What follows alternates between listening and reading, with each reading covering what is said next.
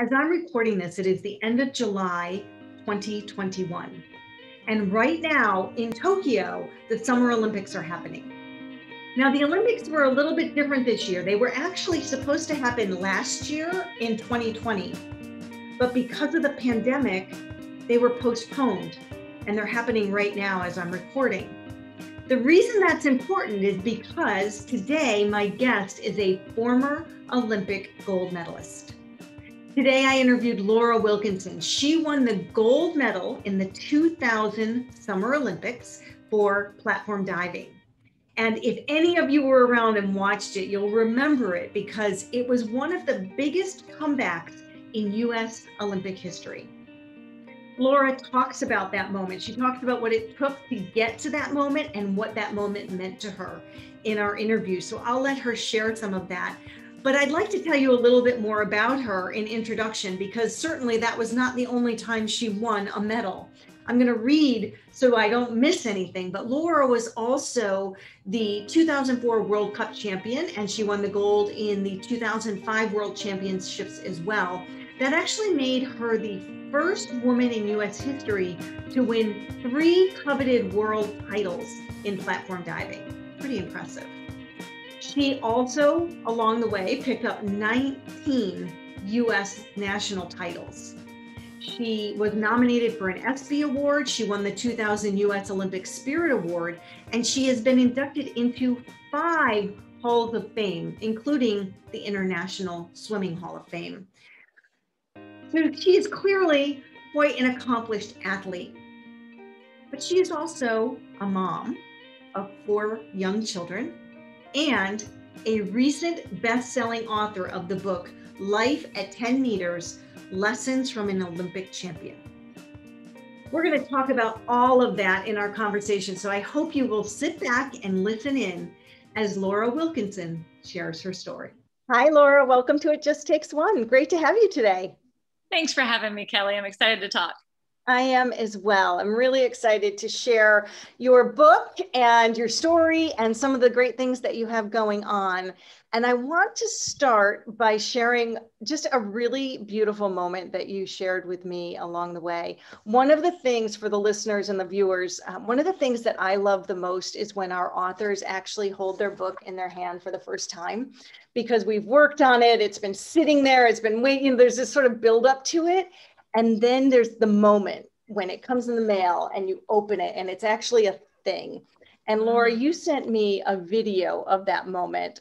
Can you share what that was like and what happened in the moment when you actually held it for the first time?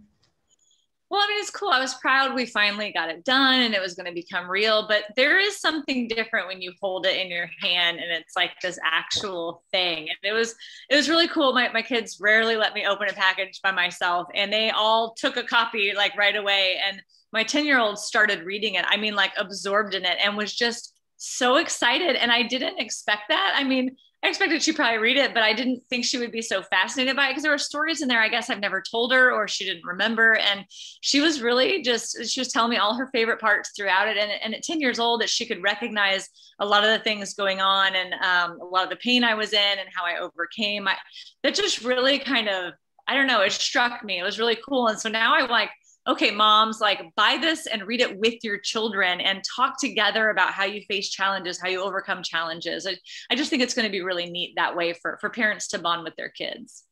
Did you expect that when you were writing it? Did you ever have this anticipation that it might actually be this great thing that you could share with your kids and, and, and create an opportunity for parents?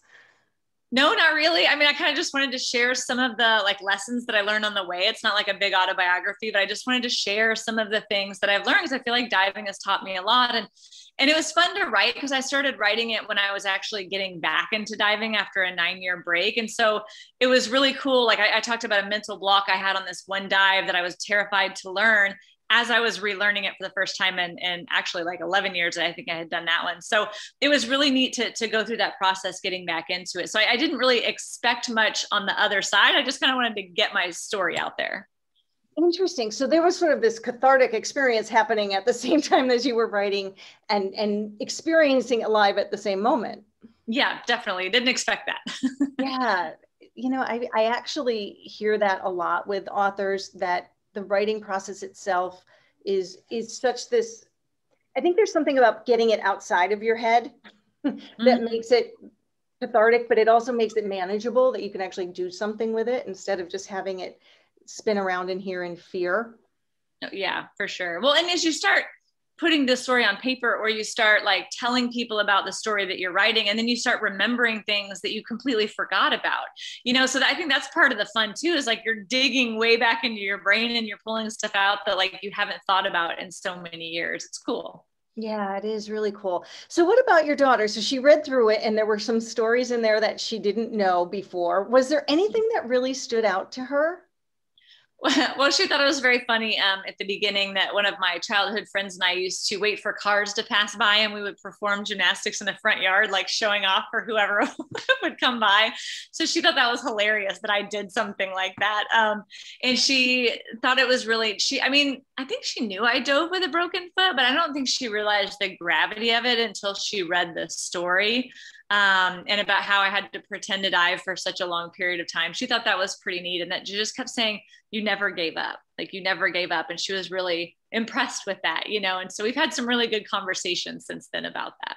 Wow, that's really pretty deep. Actually, it's that's a great takeaway for her. You know, I think as parents, we tend to we forget that that kids just see this one side of us. They don't. They might know the story, but they don't really know the backstory. They don't know all the other things that we go through, and it, it maybe gives this opportunity for the, for her to see you as just as all these other sides of you. Yeah.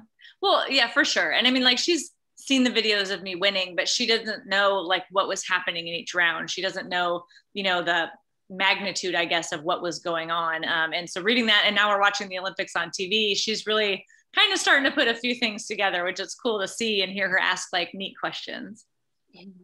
Oh yeah, the timing perfect. perfect for her to see that. And all your kids because she's she's 10 and your other 3 are how old? Uh 9, 7 and 5. So a busy mom, uh, lots of things going on. I want to talk a little bit about that. Um, one of the things that I was thinking about as I was preparing for this was just this idea of all these busy moms that are out there that are you know taking care of their kids. We were just talking moments ago about summer summer schedules and camps and shuttling the kids everywhere. I feel like i've been having that conversation with a lot of moms recently. Uh, and and you added in addition to all that this training for the olympics this year. Well actually you started this a while back because we thought we were going to be doing the olympics last year um, tell, tell a little bit about how, how do you fold in high performance athletics training, all that's required, because that's a full time job in itself, and a mom of four kids, and running a business, and writing a book. What's your secret? How do you do it all? I have a really amazing husband, so he definitely helps a lot. We kind of have a weird schedule where, um, and we homeschooled the kids this year too, with all the COVID craziness. We wanted to give them some stability, so we kept them home. And he kind of like I helped pick out the curriculum. I got the room set up, but he kind of led the teaching on that um, every day because he would do that first thing in the morning when I would go to training. Then I would come back after training. We'd high five. He'd go to coach. He's a swim coach, um, and I'd stay home with kids in the afternoon and do whatever activities. So there was a lot of juggling. I, I feel like logistics becomes the biggest factor. You know, you're trying to get a little bit here, a little bit there. Um, sometimes late nights, which is hard because I, as an older athlete, need to prioritize recovery and I'm really not good at that. So I'm trying to get better at that. Um, but yeah, it's really, there's a lot of juggling. And some days you just, you drop a couple of the balls and it stinks and it's disappointing, but you can pick them back up and you can start again and you try your best the next day. And you just got to realize that you're not going to be perfect. Like you are going to fall sometimes, you're going to mess up it's not the end of the world. It's not the end of the road. It doesn't mean you need to quit. You need to pick them back up, dust yourself off, learn from it, and keep going. So that's kind of what I've learned. It's like this, you know, it's this marathon. It's not a sprint for sure. Mm, makes sense. And actually, the way that you're saying that makes me think that, you know, a, coach could probably be saying that. It's a lot of what you learned as an athlete about, you know, not every dive is perfect, not every landing works, not every twist is there, um, but you've got to pick yourself back up and and get back on and do it again. So let's let's literally and figuratively dive into that a little bit because I I think it's always fascinating to see people that are at the top of their sport and so much of what gets people there, and I know what got you there, is mindset.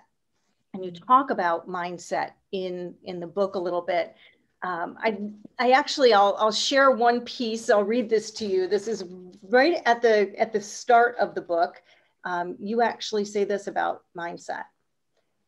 Throughout my journey, I was seeking my life purpose, both personally and as an athlete. I have learned what drives me to jump out of bed each morning, jump into frigid water, and emerge with the biggest smile on my face. With a grin, I invite you to follow my personal and athletic quest for Olympic gold. so, what's the secret? What? How do you get the mindset to to jump out of bed every morning, to jump into the frigid water, to to get back up when it doesn't go well? What What do you know? What can you share about developing that kind of mindset? I think it's knowing why you're doing it. Um, what's the reason behind it? Because you can have big goals, but like there are going to be hard days. There's going to be days you don't feel like getting out of bed. You, you're everything's going wrong, and you have no reason to want to get up. Like you need a reason to keep you going when things are hard, when things are tough. What's going to get you out when you're tired, when you're cold, when you're you just don't want to do it anymore. Like there are just days. I'm the most motivated person in the world. There are days they're going to want to quit, and so what's going to keep you going? Um, in the midst of that. And I think that's important for sports, for your job, for your family, for all of those things. And, um, you know, I think yeah i think i think it's really having that why. And and if you need to tape it on your mirror you need a reminder somewhere where you can see it day in and day out multiple times a day to remember that like this is why this is why i'm doing that. It helps you dig deep. It helps you keep going. Yeah. And what's your why? Why why? Why do you put yourself through all of that training and all of that effort and and keep striving for those goals? What's your why well, I mean, when it comes to diving, it's it it ebbs and flows, and I, I, feel like there's more than one reason. But ultimately, I just feel like I was called to do it. Um, it's something I feel like I was made for, and I absolutely love. And I mean, even when I retired at the age of 30, it wasn't because I didn't want to dive. I was ready to start a family. Um, and so it was always in the back of my mind, you know, it's just something that I absolutely love doing. And even if, you know, when I came back, I kept saying, like, I'd love to do these things, but even if I don't get to compete again, like, I just love doing my dives again. And what a special gift that's been because usually people at my ripe old age don't get to do that high level trick again. They don't get to do that thing at this level. And, and so to get to do that again has been a real treat for me. And I, I just passionately love it, you know, and I, I do aim big. I'm very competitive and I, I, like to dream big in that way. And when it comes to my kids, you know, I want to be the best mom I can be because I want to raise them to be these awesome individuals that can really shine a light, you know, bright in this world. And I also have to recognize when when I'm falling short and when I mess up around them, um, to, to ask for forgiveness. Like when I screw up, when I yell at them and I realize that, okay, that was so uncalled for, I'll just pull over. Hey, I'm so sorry. Mommy overreacted. I was wrong. I didn't realize this. I'm so sorry. Will you forgive me? And and offer them grace sometimes when they don't deserve it. You know, having those moments where maybe they deserve a consequence or a punishment, but but offering them grace instead because that's what God has shown us. And like remembering those qualities, um, you know, I, I think that's kind of what motivates me. It really just, I guess it all just comes from the Lord. I feel called to do this. I want to resemble him in the way I'm raising my kids and who I want them to be. So yeah, I guess it all comes back to that, you know, and in every, every action that we have, we have a choice. Um, and sometimes we get caught up in things, but to be able to step back in the moment and realize that I have a choice in how I handle this. I, I don't need to just react. I can choose to respond. And I think that's really, really important and something I strive to and I don't always achieve. Like I said, I drop the ball, I, I, fail daily, but to recognize when I do fail so that next time I get in that situation, I can hopefully make a better choice. Yeah, absolutely. And it's back to that whole mindset thing, right? You know, so we're not always perfect. And I'm not sure the goal is always to be perfect. It's to learn how to handle when things are not and, you know, making those choices, learning how to make those choices. I, I I was listening to that and I was thinking, you know, you you feel this calling. Obviously, you you you're you're great and you have a gift for diving, but you didn't always know that. You didn't just, you know, suddenly wake up one day and oh, diving is your thing. There's actually a great story which you write about about how you got into diving. And it came about, which I think is a really good talking point. It came about from a naysayer. It came about from somebody who said you couldn't. And I'm going to share that little bit of, of that in the book here on page 17.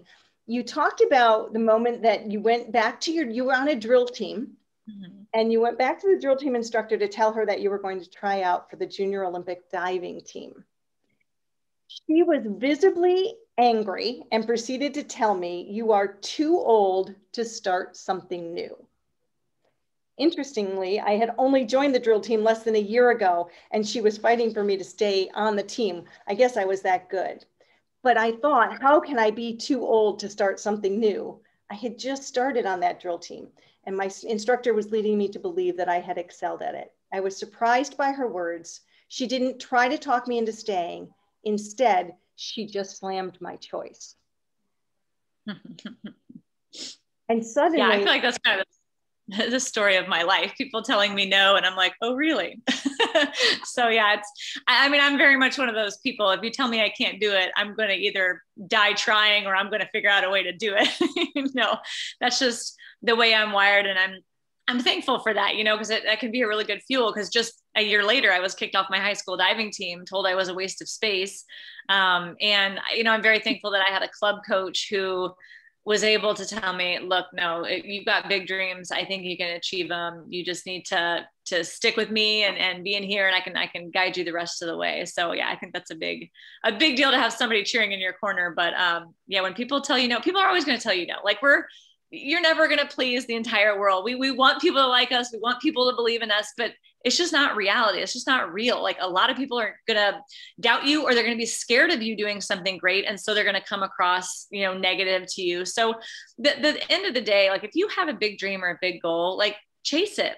If you fail, like fail going all out because you're still going to get a lot farther than if you'd never tried at all.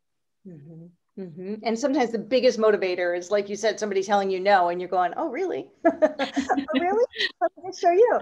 Um, you also write about your high school coach and how you were kicked off that team. I was curious, though, did you ever get a chance to go back and talk to that person? I'm just wondering how that worked out when when they saw how far you went. He was actually let go from his job a few years later, so no. And I, I, I don't think I would have. I'm not the type of person to go back and like you know, actually rub it in his face, just kind of held on to that for myself. yeah, yeah. I was thinking that maybe there was a, a, moment where he would have reached out to you and said, "Wow, did I make a big mistake?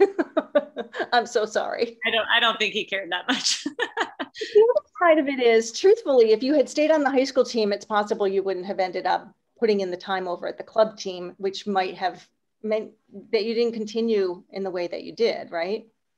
That's true. And, you know, it also makes me think too, because both of those things, my drill team and my high school diving coach, they came from coaches, from teachers, from people in authority positions. And I don't think like my that high school coach probably doesn't even remember what he did to me and and the effect that it had on me but it affected me drastically fortunately in a good way but how many times are our kids getting told the same thing and the kids instead of like fighting back are crumbling and their entire self-esteem is disintegrated and they think they're worthless. And you know I, so it just makes me really conscious of like what i'm saying to the people around me because sometimes you know you'll just say stuff and you don't always think about how it impacts those around you. So especially when i'm around like my little teammates at, at practice i try to think about what I'm saying, like make sure it's it's you know constructive and it's encouraging and it's not just you know negative Nancy or complaining about other people. You know, I try to make sure I'm wise with my words. I'm not always again. I, I mess up sometimes, but I I really try to be cognizant of that.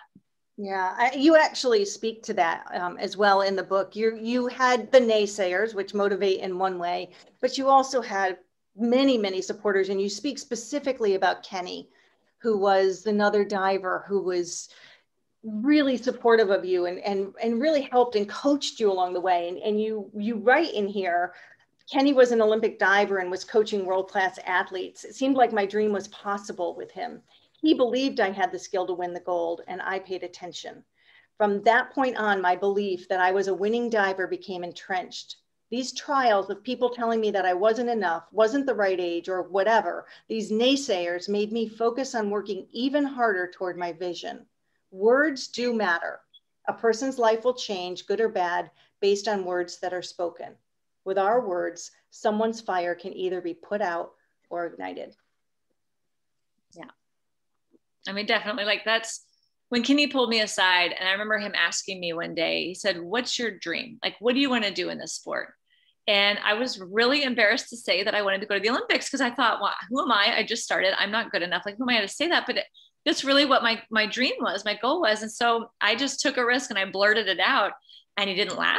He didn't say no. He just thought about it and said, okay, well, if that's what you need to do, like it's going to be hard, but these are the things we need to start working on now. And this is where we need to. And he just suddenly came up with this plan. And it was like, oh, what? Like he thinks this could really happen. Like, okay, wait, that you're so you're saying this is possible. And I think the fact that he believed in me and he was someone who I knew knew how to do it. Like there there was kind of that double whammy there. And i think um, that really made all the difference for me. Just that one person believing in me um, and you know being willing to being willing to lead me there. Yeah. Yeah. I've often said that you know it takes one person to believe in you just mm-hmm. takes one person but you also have to have the spark inside yourself right if, if you don't believe it yourself it doesn't matter who believes it if you but if you've got that little seed in there and someone fosters it just blows a little bit of oxygen to it and believes in you it's a, it's incredible what you can accomplish oh definitely 100% agree yeah, yeah. So let's talk a little bit about where what you accomplished because of that. So, you know, I think I might want to go to Olympics. It actually became that and more. Um, let's talk about the 2000 Olympics, your first Olympic debut. Um, share a little bit about that was a, a, pretty astounding. Obviously, you ended up with gold, um, but it didn't come without a battle and it didn't come without some challenge. So feel free to share that story. There, there were a lot of battles that year. I mean, just just to get to the Olympic Games themselves, I had broken my foot in three places um, just a couple of months before the Olympic trials, and I only had about two and a half weeks in the water um, before I got to trials. And so we had to really think outside the box and and kind of do this whole mental training that we'd never done before. And I really think that ended up making the biggest difference for me at the Olympic Games because some crazy stuff happened in the middle of the Olympic final that I would not have been prepared for had I not broken my foot. So I've, I've told a lot of people I was one of our best platform divers. Like I had a good shot at making the team as things were. And I, I, feel like I probably could have made the team if I hadn't broken my foot, but I can almost guarantee you I would not have stood on top of the podium without breaking my foot. I think it was the biggest blessing for me because it forced me to do something I never really worked on, at least not to that extent. And that made me so much uh, mentally stronger and emotionally stronger going into that Olympic Games because all kinds of things happen. Um, in the third round, like I batteries to my headphones died. You know, an athlete's like, we love our music. We got to get in that zone. We always talk about the athlete zone, which is like that perfect mix of excitement and nerves, but being able to control it and not letting it kind of carry you away. Um, and so I went to put my headphones on in the third of five rounds and my batteries died. This is back in the day of the, the ancient Walkmans, you know, where you put the cassette tape in, you couldn't just charge your phone in the wall and like make it work all of a sudden. So, you know, that was kind of this big moment of, oh, what do I do if I can't have my music and I can't get in my zone? But it forced me into this place of um, remembering what I had done in the past and knowing that I could do this and giving myself this pep talk that actually made me more confident going into this dive than I think I would have been otherwise. And when I hit that dive, the entire contest changed. All the top four people that were going after me missed their dives, and I jumped from fifth to first place. I didn't know that, but I knew I had a like fighting chance at this point. And um, you know, going into the second to last round, it was a dive I'd struggled with. It was the one I broke my foot on and I remember I still didn't have batteries in my headphones, so I still had no music. So I'm like running over to my coach, hoping he's going to have some magical words for me. And he tells me to do it for my friend Hilary, and he walks away. And we we had lost Hilary; she's one of my teammates. We'd lost her in a car accident three years before, and um, you know I was just trying to figure out why my coach is trying to make me cry in the middle of the most important moment of my life. and but it it forced me to this place because I trusted him because of what we had been through. And I knew for some reason I needed to go there and to think about her. And I wasn't scared because I had done so many things outside the box. I was willing to trust him with that. And so I thought about her walking up that platform. And it made me realize that this was a dream I had had since I was a little girl, but I wasn't the only one with this dream. She had had this dream. All these teammates that had supported me to get there had had this dream. And when I got up to that 10 meter, it wasn't about me or being scared or worrying about getting hurt again. Like I, I was able to just let that go because I was like, this is it. I have nothing else to hold back for. I have nothing else to save myself for. I have to be all in because it's not even just about me anymore. And that ended up, I think, being the dive that really solidified the gold medal for me um, because I hit it and stayed in the lead. And that was the real risky one for me. That was the real iffy one. And I think that was really the biggest game changer. So breaking my foot and everything we went to up to that point really made that possible. Yeah, amazing how the biggest challenges can create the biggest success, right? Something Definitely. that you think is going to be the end and ends up becoming such a, a huge win. Yeah, I was actually just watching. Um, I can't remember. You'll probably remember the um, swimmer. Was it last night who had a rip in his suit and had to go back and change the suit right before the race? I missed that part. Yeah, and I'm not remembering the name. I was just watching it this morning as a recap, and and he did great, but he didn't do as well. You know, I think he finished first, but he didn't get the time he wanted or something and he was saying it was that rhythm his whole rhythm set up before the race was completely thrown off because he had to go back in and change. And so when you're speaking about the batteries going in the headset you get your routine right? You have your routine and your ritual and and you have practiced that over and over and over. So it's so ingrained that it, if you haven't been in a high high performance sport or in, a, in an, op, an opportunity to train like that you might not understand how important that routine is and that when it gets thrown off anything can happen. You know it just kind of gets into your head right? Mm-hmm, definitely. And, and, i think there's a really important distinction between routine and rituals um, because if you're someone who's really ritualistic especially at the olympics or anything can happen somebody's going to mess up that ritual and that's going to take you out mentally. Because if you think you have to do that ritual to perform a certain way, if that ritual gets messed up in any way, shape, or form, even by somebody else, you've already taken yourself out of the game. So I think it's important to have a routine, to have a structure, um, but that can ebb and flow with changes. I think that's just a really important distinction I like to make to people because people get sucked into being really kind of superstitious and ritualistic, and that can completely take you out. Mm, so good. And I think maybe even outside of sport, that's probably a, a, good distinction to make that routines can ebb and flow, but they have a rhythm to them versus right. a ritual where it might be too, too rigid. And, right. and if it doesn't work well, then everything topples. And exactly. that's probably a good, a good distinction for life. You know, I'm thinking the other piece of the story as you were just sharing it, um, and, and you share more in the book as well, is what it was like so the, the mental component of, of dealing with a broken foot forced you to train in a way that you had never trained before. Talk a little bit about that visualization training that you were doing and, and, and how that worked, how you did it. And I'm thinking of it just in terms of listeners and readers that you know this can, it might be something to think about in life that you can actually use visualization to achieve your goals but but show talk a little bit about how that worked.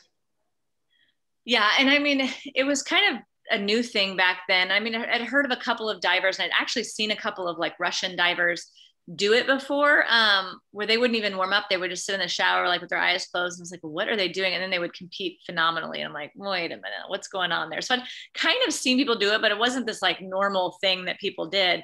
And so when kenny was talking about my coach kenny was thinking about thinking outside the box during that time when I had the cast on we did a lot of video study first of all. Like we took the best dives that i had done either in competition or in practice that i had on videotape and we put them in the order that i was going to compete them and i would watch them over and over again. I, w- I would put on my favorite you know inspirational sports songs that i love listening to while i watched them. So anytime i listened to that music it was almost like the dives would come on instant replay in my brain. Like i watched them that much and i studied it that much. Or um, also studied people who were doing the dives that i wanted to do but that were better than me you know watching their technique watching their actions and just in ingraining him in my mind. And when I was supposed to be in the water training, um, Kenny would take my crutches and I would hop up all the way up the ladder to 10 meter on my good foot and kind of shimmy my way out to the end. And I would go through all the actions of my dive while standing on my foot. And he would coach me from the pool deck. And I would put myself in all different scenarios. You know, it was a practice, it was a competition, you know, I was doing well, I was doing bad, like all these different things um, and preparing because I knew who my competitors were. I knew their strengths, I knew their weaknesses. So I I had a lot of time. So I put myself in a lot of different scenarios. So again, when I got into the meets, I kind of felt ready for anything. Um, and then there were also times where I would sit on the side of the pool deck and I would just stare up at the platform and imagine myself doing things from like third person, like I was watching a video. And let me tell you, that is hard. That is really, really hard. The first time I tried to visualize, visualize myself doing such a simple dive, I kept smacking, like landing on my face. I couldn't make myself in my head do it right. I had to slow it down, like freeze frame, like frame by frame until I finally went in vertical. It took so much practice. Um, but you know, and people trying to add some of this into their workouts, I think is great. I was forced in a place where I was doing this six to eight hours a day, you know, where you're normally training that much, then you're trying to do other things on top of it. So that's why it was such a unique and great situation. Um, but we were doing all of those different aspects of it. So I was fully consumed, fully in it in every way. Um, and, and, you know, there was a point where I was up on 10 meter doing my pretend dives, and I, I really felt like, how was pretending to dive going to get me to the Olympics? You know, and I started to feel really stupid and I just really wanted to quit. There was a time that I really wanted to quit. The swimmers in the pool next to us were making fun of me. And my teammates, who were only like eight to 18 years old, they were coming up. I guess they just recognized it, were giving me hugs, saying, Hey, I believe in you you can do this you know don't give up. And they, they would get to the point where i would do like a pretend entry on the 10 meter and they'd be on the other side of the pool going i didn't see a drop of water. I'd give it a 10 and they started cheering for me. And i'm sure it looked completely insane to anybody watching but it made all the difference in the world to me because i didn't feel like i was alone anymore. Mm-hmm. I knew that I had these people behind me and I knew it wasn't just about me anymore. And those are those are the moments that I thought about when I was up there before that hard dive, realizing that it wasn't about me. I was remembering all those kids that, like, you know what, I'm probably their only shot at an Olympic gold medal. You know, they may not never ever get to this point to try. And so it, it was so much more than just me. And I just love how God can use anyone in your life. Like, no matter how old you are, no matter what station in life you are, you can really make a difference to somebody else. And it doesn't always take a lot. You just got to be there for them. Oh, it's so, so, so true. And I'm always fascinated by the, the mind body connection too. And you're up there visualizing in your own little dream world of, of your of your dives and suddenly you had them visualizing it too so it was so contagious that suddenly everybody was in the visualization which is really kind of cool when you think about it it was um, it was really fun it was really yeah. fun i mean I, I know there are studies out there that say that yeah, I think they did studies on people that actually physically did a workout and then people that were just sitting there imagining they were doing a workout and they got like 70% of the benefit of the workout without ever leaving their chair. So we used to tease people, well, all you need to do is sit in your chair and visualize, you'll be good. Um, but but the power of getting so clear in the vision of what needs to happen does matter. It does matter because look at what happened with you. You know, you you how many how many weeks did you have to actually do the dives before you were doing them at the Olympics? Once well, I only I only had two and a half weeks between when I got my cast off and I got to dive in the Olympic trials. So that was like no time. So and then we had another three months until the Olympics from that point. But my foot was still broken. Like it was still because they didn't do surgery on it like they should have. I had a bone that was actually lodged underneath because I broke the middle three bones. So one bone stayed lodged underneath. And so I couldn't walk up the platform unless I had a shoe on and I had to show, throw the shoe down from 10 meter and stuff. So there was still a lot of visualization going on because I couldn't do the numbers um, like I was before. Yeah. Yeah. And so the visualization is what did it, you know, you, because you could see it, you actually achieved it. It's such a powerful lesson for all of us, not any of us that are not going to be up on a 10 meter diving board, it's for anybody, right? If you can see it, you can get that clear and you can live it in the visualization, you can make it happen like writing a book. If you if you can mm-hmm. see yourself holding it in your hand, you can actually get there. It's possible. So all of that, you know, the, obviously it was a huge comeback, and and people. I hope if you haven't seen those dives, you go. You can see the videos of them. They're they're online, and you can see her winning that um, that moment. Um, there was a moment, actually, I think you say it was your favorite Olympic moment um, that I, I, would love to share uh, as, as you wrote it here in the book. On page 46, you said, one of my most favorite moments of the Olympics was right before my last dive.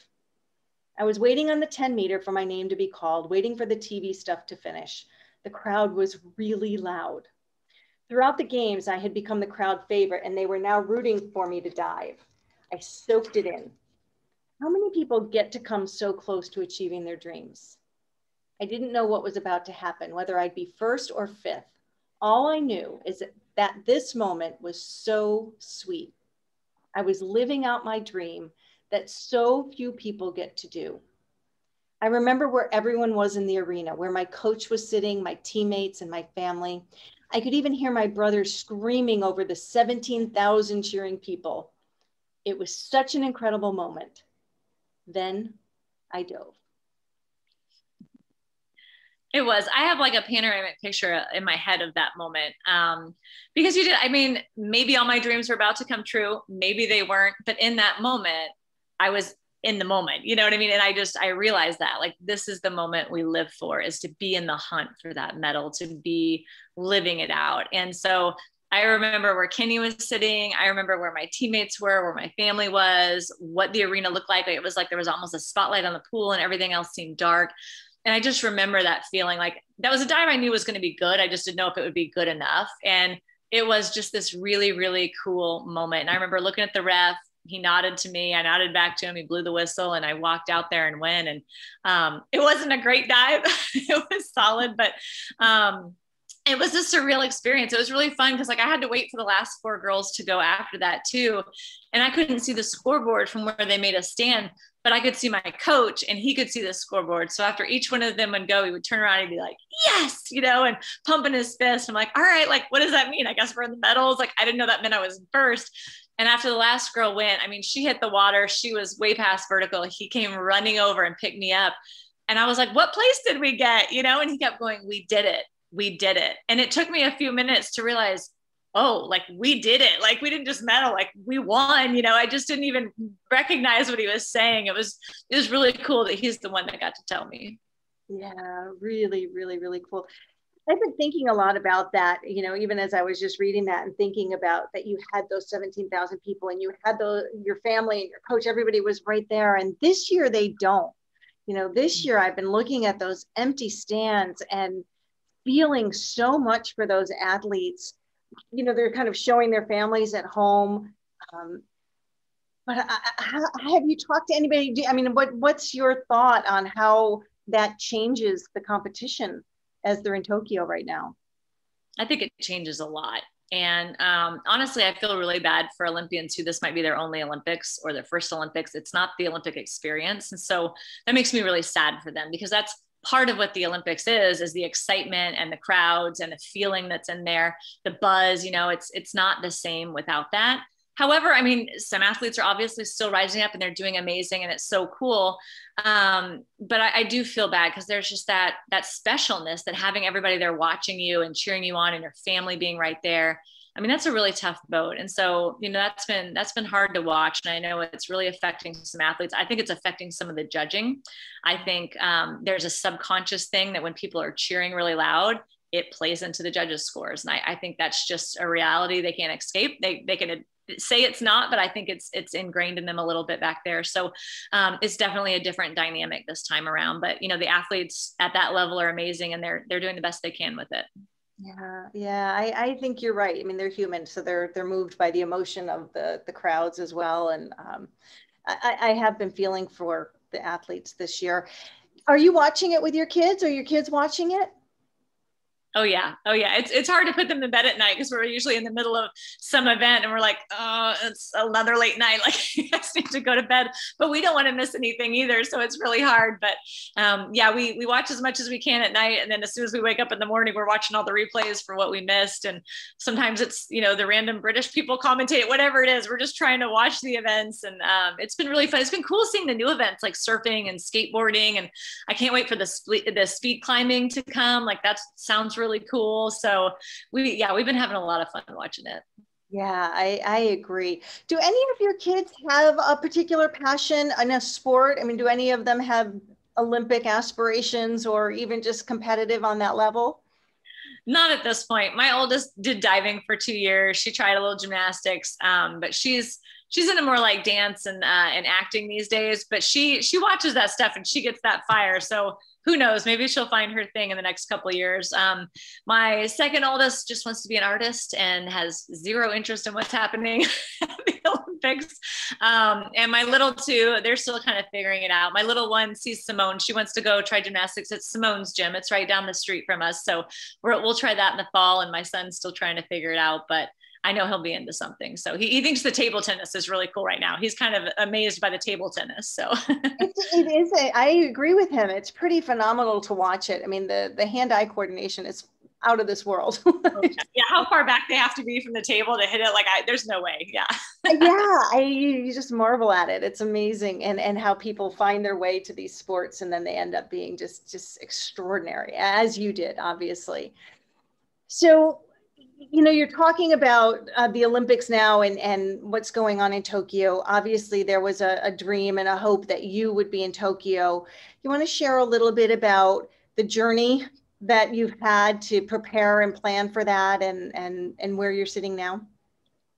Yeah. Um, so in 2017, I decided to compete again for the first time in almost a decade. Uh, so I retired to have children after the 2008 Olympic Games. And so I came back in 2017 and got second in nationals and was like, all right, let's do this thing. But the path has not been easy. I knew it would be hard anyway, but we had trouble bringing our daughter home from Ethiopia, our fourth child home from Ethiopia. Um, we finally did. Took us a few months to to settle her in and get her unattached to my neck, you know, it's where I could go back and train again. And then as soon as I did, we found out I had a really bad neck injury and I had to have a two level cervical fusion on my neck um, which took me an entire year, all of 2019 to recover from and, and work my way back up to 10 meter. So going into 2020, which is when the Olympics were supposed to be, I had just gotten back up on the platform in January, had a couple of competitions under my belt when the entire world shut down. And I thought, you know, as a 42 year old mom before, I was like, sweet, I have an extra year, which sounds so crazy, but I thought this will allow me to fully recover and be stronger and I'll have more time on 10 meter but we weren't allowed into any facilities because we don't have a, a, platform at my pool. We just have a springboard. And so we weren't allowed to in to any facilities until about mid-March of this year. And so again, I only had about if maybe three months um, up on the platform before our Olympic trials. So, you know, I still felt good going into Olympic trials, but I wasn't consistent and it wasn't what I hoped it would be, which, you know, is a little frustrating. You never want to go into that not doing your best, but at the same time, it was a great experience to be in that atmosphere again, to um, kind of be part of the competition, and uh, you know, just really get to know some of the athletes that, that are on the scene, and um, and to be there again, it was really fun. So definitely, it was a different flair. It was a little bit like there were barely anybody in the stands. Um, we were worried about a lot of things going into it that we, we weren't going to have our kids sitting together and things like that. Turned out to be okay, but it was just a really different kind of environment. And um, you know that definitely i think played into my head too. Not that i was totally ready for it but it wasn't what i was hoping for in a lot of ways you know? So it's kind of a bummer but super excited for our divers that are on the team. We've gotten two silver medals so far in the synchronized events. It's been amazing. So cheering on those guys um, has been incredible and i hope we hope we have some more great performances yeah, those synchronized divers are just beautiful to watch. Oh, it's just, we were watching them last night as well, and they're just phenomenally beautiful to watch. Elegant and graceful, and the, the timing is, and, you know, as a trainer, I always think, what, what goes into that, you know, to get those perfect, very, very perfect and precise movements and, and get them together that way. It's amazing. Yeah. Yeah. I actually also remember, Laura, when you were back in the pool because you ended up traveling to Florida at one point to be able to, I don't know if you were competing or training down there where there was a platform um, while we were still working on the book. So you were traveling with the kids, training on, on the dives and, and writing the book all at the same moment, right in the midst of the, the whole pandemic yeah, that was actually, we were happy we decided to homeschool because we could do things like that. We took the kids on a road trip down to a meet in Florida in Coral Springs, um, which actually kind of turned into a mini beach vacation for the kids and and me. You know, it was like a training trip. I got to train, got to be at the beach, got to do work at night. Like it was kind of a good good all around trip for us. Um, and that's kind of, we were just trying to work our way back up because we didn't have access to any other pools at the time for platforms. So I worked my way up to seven meter there. Um, and yeah, it'd be another couple of weeks after that till we got on the 10 meter. Yeah, amazing. Well, obviously it wasn't meant to be. Um, being in Tokyo wasn't wasn't on your path. But I'm curious what what's next. I know um, you've got the book and some things going with that. I'm sure, but also a little bit about what are you, what are you doing? Um, you've got a business where you you get out and help some people too. Share a little bit about what you're doing and what's next here.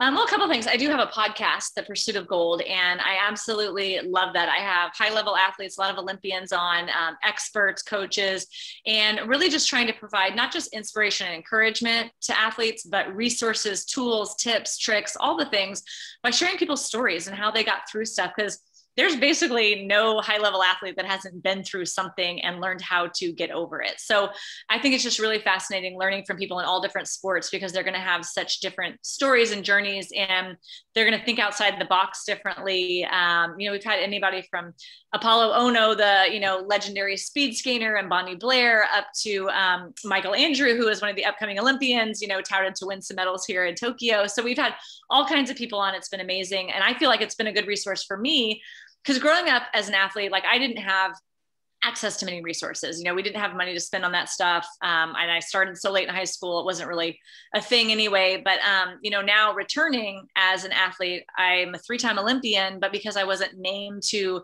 a certain squad, I still had zero resources from the US Olympic Committee or anything else. So this has been my way to say, okay, well, if I don't have resources, how can I get them and not just get help for me, but provide it to other people? So I was like, even if this isn't benefiting anybody else, I'm getting a lot out of it. So hopefully, other athletes, uh, even coaches and parents, are getting a lot from it too. So that's really kind of my baby right now. I, I love it. It's it's so much fun and so encouraging to me. Um, I do have a course called Confident Competitor where we talk about um, just how to how to be a great mental athlete, like how to up your game mentally, which will help you up your game physically. Um, we're kind of revamping it a little bit right now, but I'm going to release it again later this year. Um, and and I love that it's you know some of the things people think are so basic but they don't they either don't apply them all the time or they don't know how to apply them. They understand the concept they don't know how to do it. So we walk you through step by step exactly how to do that. And and if you do all of those little things it really makes a big difference in the long run. So do you do that one-on-one or do you do that with groups? Um, it's an online course. I was doing training with it, but I think when we revamp it, it'll be like a you walk through it by yourself, but then you can have coaching sessions with me as well if you need them. Fantastic. How do people get find those things? What's your website? Where can they find your podcast? Laura, Laura Wilkinson. Yeah, laurawilkinson.com. And you can find the podcast, the course, everything on there. Fantastic. So much more that we can share, but I'm going to let people find your book, read your book, and start following you to find out what else is out there and what else they can learn from you. Uh, before we finish, Laura, one of the things I like to ask all of our guests is is about the title of the podcast because I always think it just takes one is a pretty profound idea and I'm always interested and curious about what people think about when they think about it just takes one. So I'm curious, what, what does that mean to you? Um, I mean, I think it's kind of what we were talking about earlier. It just takes one person to believe in you. You know, you can it, it obviously has to start with you and you have to believe in yourself, but having one person just say, I think you can do that it just frees you on a whole other level and and it, it shows you that like okay maybe this is possible. And i think it just opens you up in a whole new way. You know i had that happen with my coach kenny that we talked about um, where he was like okay you want to go to the olympics? This is how we do it. You know it was like wait we can do that? Well i also had an issue. I, I had just missed making the 1996 olympic trials um, in diving by just the closest margin. It was so, so painful. And the 1992 Olympic champion, Mark Lenzi, sat down with me and he goes, Look, I know this stinks right now. Like this hurts really bad, but you can use this to be the fuel for your fire for the next four years and come back even stronger. And when an Olympic champion sits down and tells you that, you pay attention. And that has always stuck with me. So, like those, that small, you know, little thing that he told me, it stuck with me and it really was the fuel for the next four years. And I didn't just come back strong, I, I won gold as well. And so that was, I think it just takes one person to really light a fire in someone else. Yeah, it's such a great point. Um, and, and I think as the listeners are, are listening to that, I, I always encourage the listeners to think about who they can believe, you know, who they can share that with, who do they believe in, and how can they use their words to share that belief and to encourage somebody and to help somebody achieve whatever that goal is. I think we all have that power within us if we use it and, and recognize it. I love it. Yeah, it's great. Laura, the book is called Life at 10 Meters Lessons from an Olympic Champion. Where can people find it? you can find it on Amazon in paperback or ebook, or you can go to laurawilkinson.com and get an autographed copy. Fabulous. Thank you so much. It's been such a pleasure working with you. I look forward to watching and following what's next for you and wish you all the best. Thank you, Kelli. You're awesome. Appreciate it.